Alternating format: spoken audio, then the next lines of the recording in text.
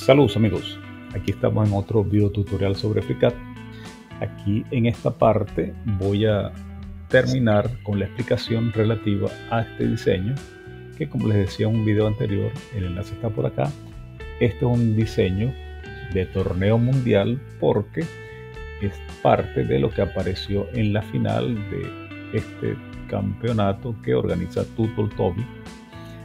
Y bueno, ya hicimos prácticamente todo lo que, lo que tenía que ver con el, con el diseño, de hecho lo terminamos, pero me pareció conveniente compartir cómo encontré una, una distancia y cómo hice esta cavidad. Vamos a ver eso.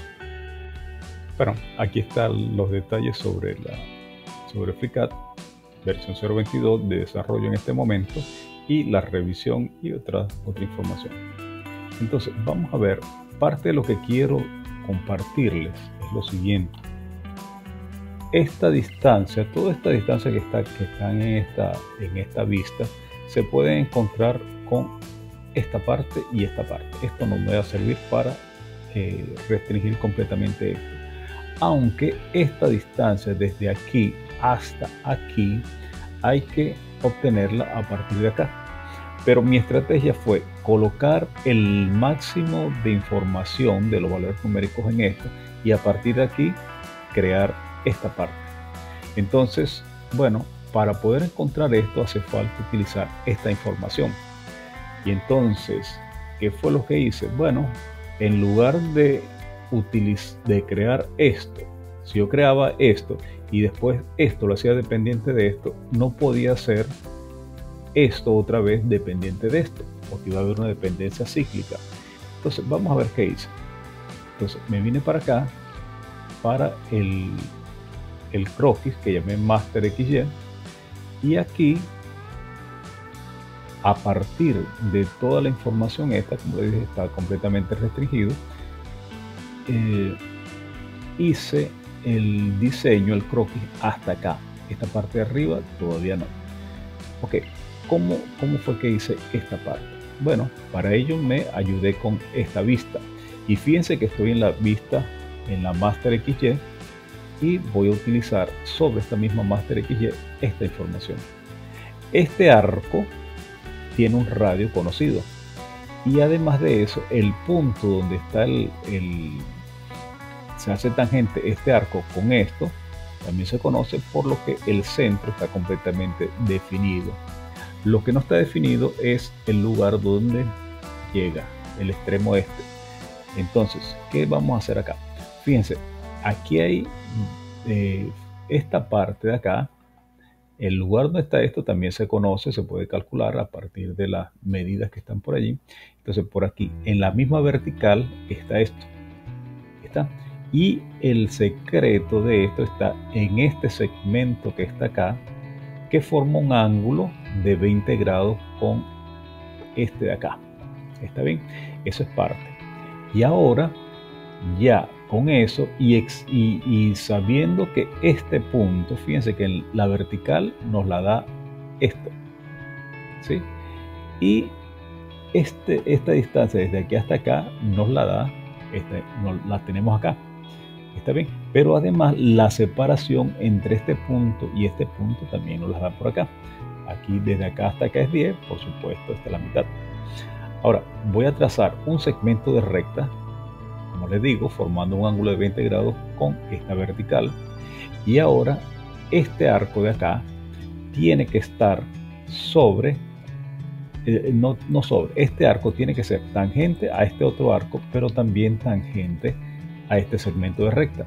Y con eso el, el croquis queda completamente eh, restringido y a partir de aquí podemos calcular, ¿sí? esto lo tenemos que hacer con esta, esta parte de restricciones de referencia y fíjense cuánto vale el arco, el radio del arco este de acá, ¿okay? con la exigencia, como les digo, de ser tangente a este y tangente a este. Y aquí ya tenemos la distancia, porque la distancia desde aquí hasta acá, bueno, es justamente el radio.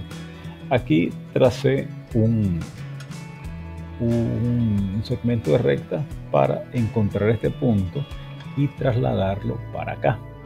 ¿Está bien? Fíjense, este punto de acá lo subo y obtengo este punto de aquí. ¿Está? Va a estar en la misma vertical. Bueno, y a partir de aquí y de acá se obtiene toda la longitud de este segmento. Esto es esta parte, ¿no? Esto es la, lo que les quería comentar respecto a esta dimensión que no se da directamente. Bueno, aparte de esto hay otro par de detalles. Yo les comentaba en el video anterior de este, este segmento que va de acá hasta acá, porque salía eso y cómo hice, yo les iba, yo les dije, les prometí, vamos a decir así, que les iba a explicar cómo hacer lo que llamé cavidad, esta parte de acá, como ya como hice esta cavidad de acá. Y para ello hace falta esto acá.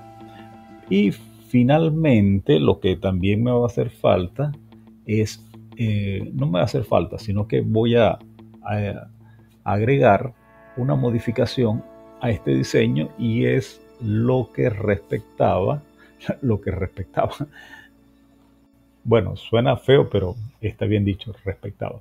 Ok, otro detalle que quería compartir era lo relacionado con eh, la forma en que hice la reflexión de la parte final. Entonces, vamos a hacer una cosa. Vamos para esta parte de acá y explicar cómo fue que hice la cavidad. Bueno, aquí está esto. A, este, digamos, etapa del diseño, lo que nos faltaría es crear la cavidad. Pero esta cavidad tiene que cumplir con un par de, condiciones. Fíjense, si yo coloco aquí esta parte, fíjense, aquí está la pieza. Entonces, aquí tenemos la vista de lo que llamé interno en el plano XZ y, para hacer esta cavidad, vamos a mostrarla acá, esta cavidad de acá, hace falta que, eh, bueno, no hace falta, así lo hice, crear un barrido que no solamente tenga esta trayectoria por acá, ¿sí? sino que además baje. Entonces, la, la forma que, que, en que hice esto fue con una curva 3D. Vamos a ver Vamos a ver esto aquí, además de esto, vamos a ocultar esta parte. Y fíjense, acá, como les decía, esto tiene, el barrido tiene que ir, la trayectoria que va a ser el barrido de la sección que ya vamos a ver, tiene que ir desde acá hasta acá, en esta posición bajando, pero además tiene que hacer este recorrido de acá. Entonces, eh, la, la sección que le, que le diseñé fue esto. Y fíjense que pudiéramos pensar que esta parte de acá, vamos a verlo acá, aquí y aquí, si esta parte de acá estuviera hecha, por ejemplo, hay un material que se llama poliestireno, aquí lo llamamos anime, si esto estuviera así hecho de poliestireno, eh, bueno, y esta, vamos a ver acá ahora, aquí y esta cavidad y esta sección fuera como una plaquita caliente, entonces si yo paso esta plaquita caliente manteniendo la orientación y siguiendo este camino, voy a tener una cavidad. Pero además de seguir este camino mientras se mueve, también tiene que hacer este arco. Entonces la forma es hacer las dos cosas moviéndose para acá en el plano XY en combinación con esta parte de acá. ¿Cómo se hace esto? Bueno, bueno, se selecciona los dos caminos. Fíjense, yo voy a seleccionar, se selecciona por una parte esto, esto, esto y esto.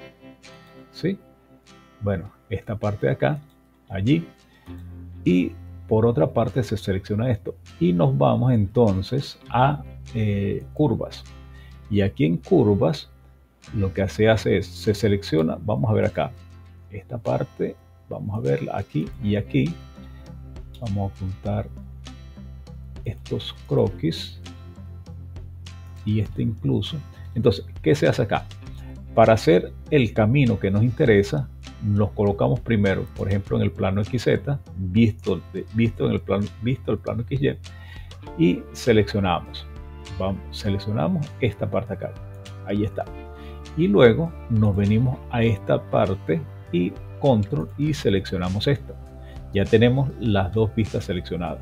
Una vez hecho esto, le damos acá en curva mezclada y obtenemos esta curva que va a cumplir con, los dos requisitos. Uno, que esté que visto desde aquí, desde este punto de vista, tenga esta parte, vamos a verlo allá, aquí sería esto, ¿sí? ahí está la curva negra, es la, la curva 3D, y por otra parte, visto desde arriba, también va a ser esta parte de acá. Bueno, la combinación de esos dos me da una curva en 3D. Vamos a ver si aquí se logra. Ah, bueno, a lo mejor se ve mejor si colocamos esto acá. Tampoco se ve bien allí. Pero bueno, esta curva, esta curva que tenemos aquí es una curva 3D. ¿Está? Entonces podemos colocar esta parte y esta parte y aquí podemos darnos cuenta. Que cumple con esta parte que le estoy diciendo, que mantiene desde este punto de vista esta forma y desde, desde este punto de vista mantiene otra forma. Pero fíjense que es una curva tridimensional. Bueno, eso. Ahora viene la parte de la sección. ¿Por qué la sección tiene que ser como es? Aquí, aquí se explica este saliente. Fíjense, vamos a ver la sección. La sección que hice ha sido un rectángulo. ¿Está bien? Y ese rectángulo va desde acá hasta acá. Ajá, pero ¿por qué se tiene que extender un poco?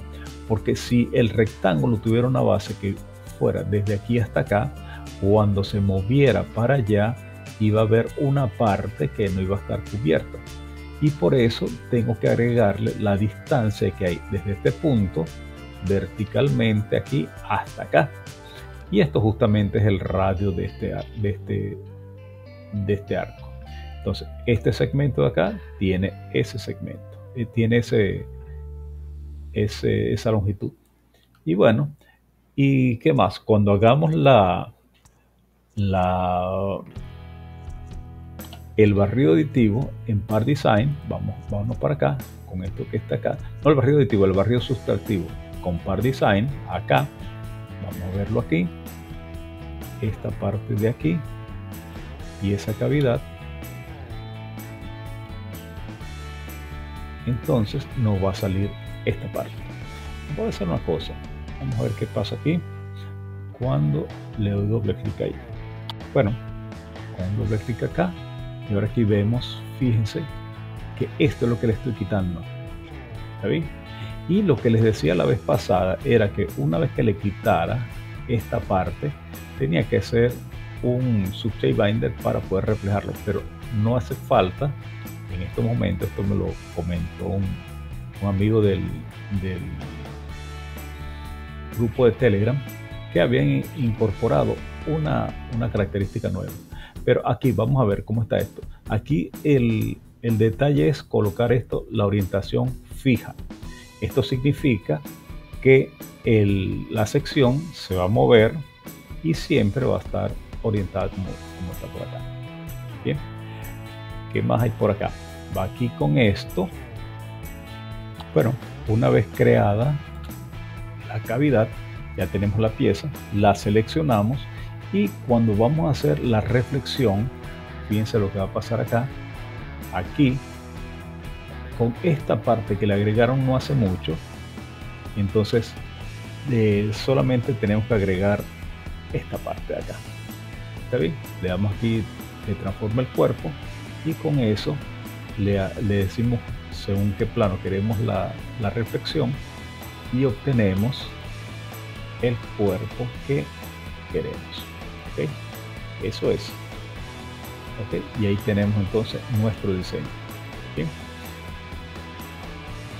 Bueno, eso era lo que quería compartir para finiquitar eh, los detalles, digamos, sobre los detalles.